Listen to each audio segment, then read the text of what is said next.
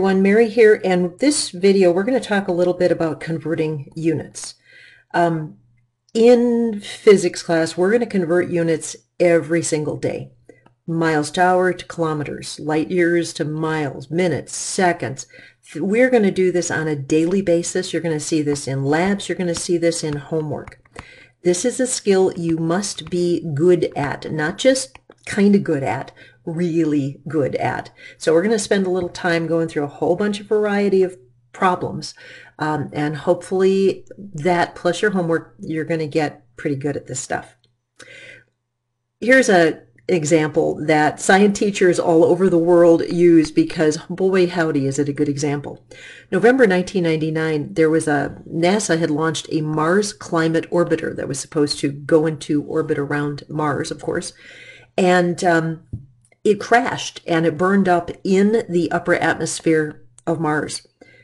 Upon an analyzing what happened later, they found that two different groups of engineers worked on this. One set of engineers calculated the thrust in pounds. Another set of engineers calculated it in newtons. Both of these are units of force and they're both commonly used one, there was no place in the computer program that made them the same unit. Um, the whole kind of boo-boo cost over $327 million. And honestly is kind of gleeful for every science teacher on the planet because we are constantly talking to students about units, units, units, and you have to be truthful and you've got to keep them the same when you go through a problem. So units are a big deal in every area of science. I encounter some students who say this, hey, I don't have to worry about converting units because I know how to work Google. And Google can do this. I can do this all online. Well, yeah, but let's talk about a couple situations. One, what happens when the problem is more complicated than Google can answer? And two, has the internet ever failed you? Have you ever been someplace where there is no internet reception? Um, you're out in the woods, you're in a basement. Yeah. So you have to be able to do this on your own. And if you want a job as a professional in a field that requires that you know how to do this, you can't totally depend on Google. This is the way I'm going to show you how to convert anything to anything else. And these are the steps I like to use when I have students convert units. One, you got to find a conversion factor. Two, you draw a TIE fighter. Do, do, do, do, do, do, TIE fighter. And then you put the numbers and the units into the TIE fighter so that the correct units cancel. Let me give you an example. I want to convert 17.5 feet into inches. Now, I know, I know, I know. Put down your calculator. I know some of you can just do this in your head, but I want to use a simple example so that you see the technique. So here's how this works. A lot of students have told me they like doing this on lined paper. So if I've got 17.5 feet and I want to go to inches, first thing is I find a conversion factor. And I know that 12 inches equals one foot. Then I draw a TIE fighter. Now you can call it a fraction if you want. I just think TIE fighter is a lot cooler and sexier than fraction. I want to get rid of feet and then keep inches on the top. Always put the unit you want to get rid of kitty corner from itself. So if I've got units on the top and I want to get rid of them, put it on the bottom. I want to keep inches on the top, so I'm going to put inches on the top. After you have the units in, then you get to put the numbers in. 12 inches is one foot. And I like to, before I pick up my calculator, cross out feet with feet, meaning the only thing I'm going to have left is inches. Then I pick up, pick up my calculator. 17.5 times 12 gives me 210 inches this is an exact number. It does not affect significant digits. This I have three, so I have three significant digits. All right, let's try another one. 175 pounds into kilograms, pounds to kilograms.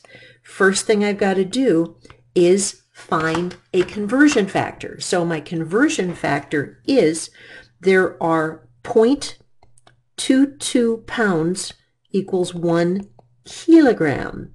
0.22 pounds equals 1 kilogram. And I'm just going to look that up because my brain said, Mary, are you sure? And I think I'm pretty sure. Oh, point, oh it's 2.2 pounds. There you go. I knew I was feeling insecure about that. 2.2 pounds in one kilogram. So I want to get rid of pounds, keep kilograms. There's 2.2 pounds in one kilogram. This cancels, and if it's on the bottom, you divide. So 175 divided by 2.2, and I end up with 79.545 kilograms. I've got three significant digits, and this is going to be 79 point. This is going to round to 5, not to 4, and that's kilograms. Okay? All right. We're going to try a couple others. What if you have a multiple step conversion, multi-step conversion, meaning you don't need one TIE fighter, you need many. Here's an example. How many seconds are there in one hour? Now, you might be a super nerd and know how many seconds are in an hour, but most people don't know that. So I have um, one hour. Remember, I like doing this on lined paper. I want to end up with seconds on top. So what do I know? I know that one hour contains 60 minutes.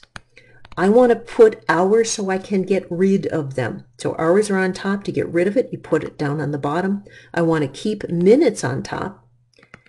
After you put the units in, then you can put the numbers in. 60 minutes, one hour.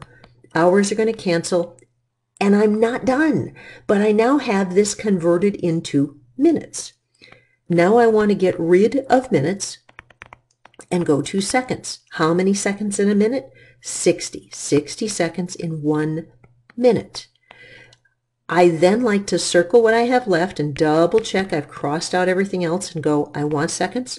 I've got seconds. Then I pick up my calculator. 60 times 60, 3,600 seconds. What, do I worry about significant figures here? I do not. Why? Because this is an exact conversion. This is an exact conversion.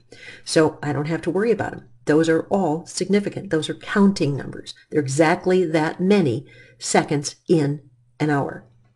How many centimeters are there in 13.8 miles? Okay, hit pause, try it. Then we'll come back and do it together. All right, guys, here we go. I've got 13.8 miles I want to convert that into centimeters. Now, that's kind of silly. Not very often you're going to convert miles into centimeters, but just humor me on this one. Okay. Now, I can go miles to meters to centimeters. I can go miles to feet to inches to centimeters. You have to kind of plot a path. What, what trail are you going to follow. I'm going to follow this path right here. So I want to get rid of miles and go to meters. I know there are 1609 meters in a mile. That's going to cancel. That gives me meters. I am going to get rid of meters and then put in centimeters. Always put the units in first, numbers in second. 100 centimeters in one meter, I cross things out as I go. And then I'm going to go, oh, I'm there. I'm at centimeters. I wanted centimeters. So now I pick up my calculator, 13.8 times 1609 times 100, and I'm going to end up with a big number. Uh, 2220420, and that's going to be 2.22 million um, centimeters. Cool. All right, that will end this one. And next up is going to be converting part two, where we're going to do top and bottom conversions and squares and cubes.